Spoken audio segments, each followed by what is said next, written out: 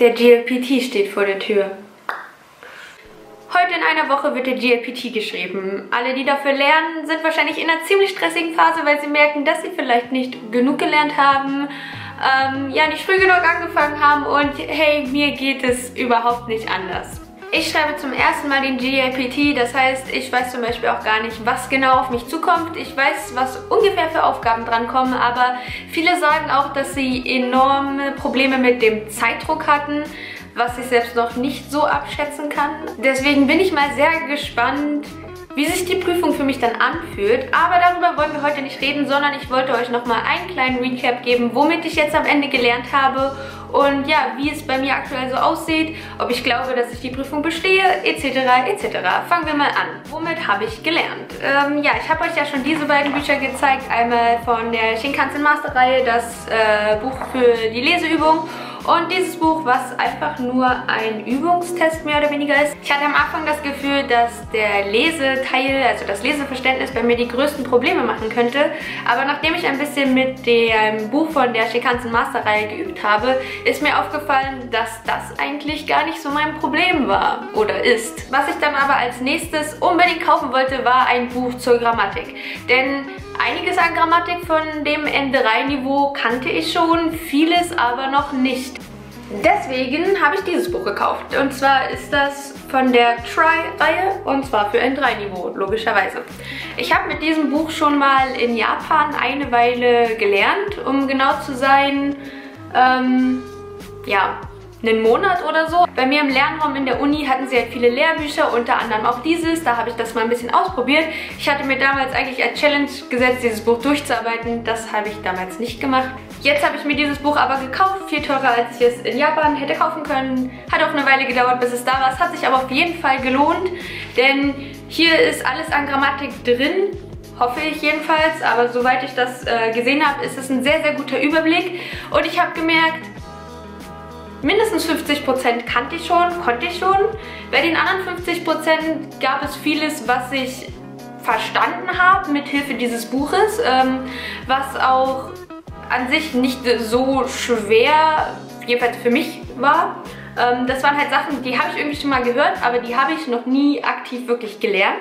Und es gab so 5%, die ich halt einfach überhaupt nicht verstanden habe. Auch mit Hilfe dieses Buches saß ich da und dachte mir so, hä? Und wenn man an so einem Punkt ankommt, wenn man alleine lernt, ist es am besten, man sucht sich jemanden, der das weiß und der das kann und der dir das erklären kann.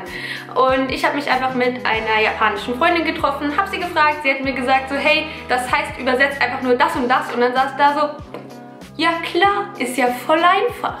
Also das war dann noch so das letzte i-Tüpfelchen, was ich gebraucht habe, um die Grammatik auf die Reihe zu bekommen. Das Einzige, was mir noch sehr viele Probleme bereitet, ist Keigo, also höfliches Japanisch. Da ist zum Glück beim N3 noch nicht so viel dabei, aber schon genug, um äh, ja, mir Probleme zu bereiten.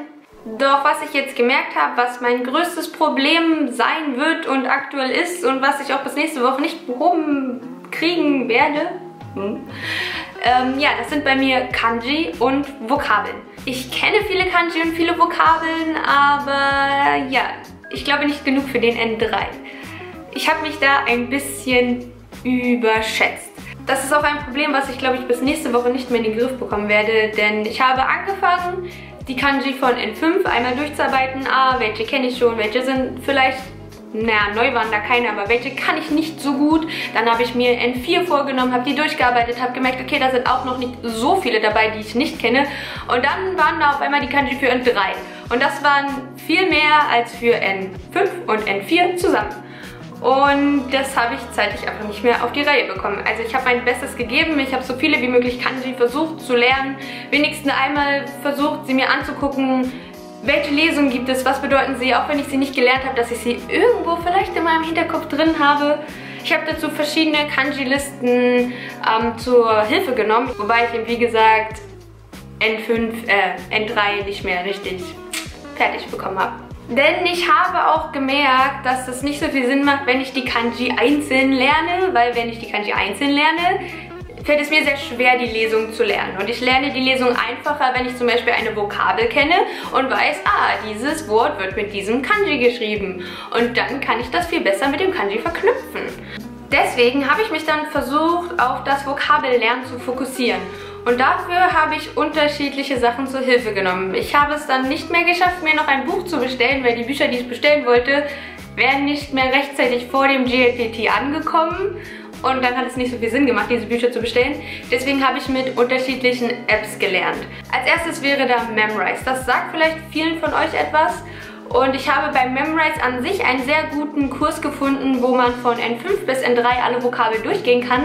Das Problem ist aber nur, dass man bei Memrise ja immer diese Planeten hat und man erst einen Planeten bearbeiten muss, bevor man dann zu den nächsten Planeten gehen darf. Und es hätte mir einfach so viel Zeit gekostet, den N5-Planet durchzuarbeiten, bevor ich zu N4 und N3 hätte gehen können, dass ich gesagt habe, okay, das ist für mich jetzt auch nicht die richtige Strategie, weil es ist nicht so, dass ich die Vokabel von N5 nicht kann. Es ist nur so, dass es einfach sehr lange dauert, bis man die durchgearbeitet hat mit Memrise und Zeit hatte ich nicht, deswegen war Memrise leider nicht meine finale Wahl. Die zweite App, mit der ich sehr viel gelernt habe, nennt sich Tangolisto.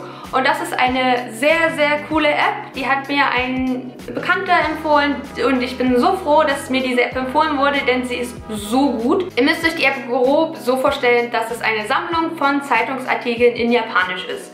Und dann habt ihr bei jedem Zeitungsartikel dran stehen an der Seite mit einer Farbskala, wie viele Vokabeln aus N5, N4, N3, N2 oder N1 in diesem Zeitungsartikel drin sind. Und dann könnt ihr eben jeweilige Artikel auswählen, wo ihr meint, ah okay, hier ist sehr viel von N3 zum Beispiel drin, diesen Artikel möchte ich jetzt lesen. Man kann dann im Text auf die Wörter, die man nicht lesen kann oder die man nicht kennt, draufklicken, um sich die Lesung anzeigen zu lassen und die Übersetzung anzeigen zu lassen. Und im Nachhinein, wenn man diesen Artikel gelesen hat, kann man dann auch nochmal ein Vokabel-Review machen. Das heißt, man geht nochmal alle Vokabeln durch, die in diesem Text drin waren. Und ich finde diese App einfach super gut. Klar habe ich damit nicht alle Vokabeln gelernt, die man für N3 können muss, aber ich habe einfach gemerkt, welche Vokabeln man wahrscheinlich ziemlich oft benutzt und die mir halt fehlen. Also es hat mir einfach irgendwie das Gefühl gegeben, dass es mir hilft. Ob es wirklich was gebracht hat, das wird sich dann noch zeigen. Vielleicht mache ich auch noch mal ein kleines extra Video über diese App, weil sonst springt das hier den Rahmen. Und die letzte App bzw. Desktop-Anwendung, mit der ich Vokabeln gelernt habe, war Anki. Und viele von euch werden Anki kennen. Ich habe versucht, vorgefertigte Stapel für das N3-Niveau zu finden, habe dabei einen Stapel gefunden, der auch alle fünf Niveaus abdeckt. Und ähm, ja, ich packe euch da auch nochmal ein paar Links zu Anki-Listen, Stapel, wie immer man es nennen will, in die Videobeschreibung, die ich sehr gut fand und mit denen ich jetzt gelernt habe. Da habe ich es auch noch nicht geschafft, alle durchzuarbeiten. Ich bin auch der Meinung, dass ich das zeitlich einfach nicht hinbekommen werde. Diese Einsicht musste ich einfach machen. Trotzdem habe ich aber gemerkt, dass es mir schon geholfen hat, dass ich einfach einen besseren Überblick bekomme, welche Vokabeln brauche ich überhaupt für den N3 und ja, ich kann, wie gesagt, nicht alle, aber man merkt, dass es besser wird. Ich werde jetzt noch mein Bestes geben, in dieser letzten Woche so viel wie möglich Vokabeln und Kanji in meinen Kopf reinzuprügeln und Keigo zu lernen und entweder bestehe ich den GLPT dann oder nicht und habe aber mein Bestes gegeben. So, so viel dazu, was ich gelernt habe. Kommen wir zu dem Thema, ob ich das Gefühl habe, dass ich diese Prüfung bestehe oder nicht. Wie ihr gemerkt habt, bin ich ein bisschen, ja, äh, interessant eingestellt zu der Prüfung, würde ich sagen. Es ist so, dass ich mir keinen Stress mache, weil ich keinen Druck habe, dass ich diese Prüfung bestehen muss. Ähm, es ist nicht so, dass ich dieses Niveau oder diese Bestätigung von dieser Prüfung für irgendwas brauche. Ich mache diese Prüfung wirklich nur für mich. Und ich glaube, das ist ein sehr großer Vorteil, denn dadurch kann ich sehr gelassen an diese Prüfung rangehen. Ich meine, klar habe ich bisher sehr viel Zeit investiert. Ich habe 60 Euro dafür bezahlt, diese Prüfung zu machen, etc. etc.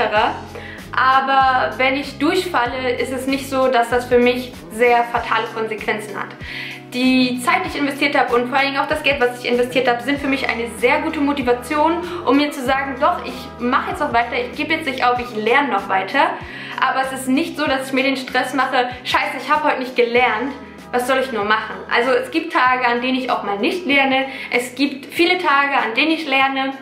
Und ich versuche aber einfach so gelassen wie möglich zu bleiben, ohne mir jetzt unnötig Druck zu machen, denn ich habe die Erfahrung mit Prüfungen, wenn man sich sehr viel Druck macht, dann wird es nur schwieriger. Und ja, ich bin an sich ein Mensch, der relativ gut mit Prüfungen umgehen kann, der auch sehr gelassen bleiben kann, selbst wenn Druck hinter einer Prüfung steht. Und deswegen sage ich mir, entweder ich schaffe es oder halt nicht. Aktuell habe ich das Gefühl, ich könnte es schaffen. Ich bin mir aber nicht 100% sicher.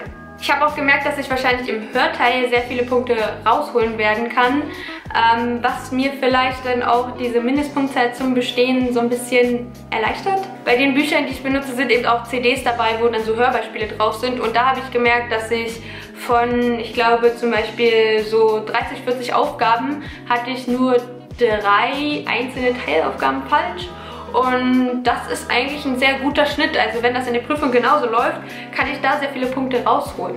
Zum Bestehen, die meisten, die den Test gemacht haben oder machen wollen, werden es wissen, man braucht beim N3-Niveau von 180 möglichen Punkten 95 Punkte zum Bestehen. Das heißt minimal näher als die Hälfte.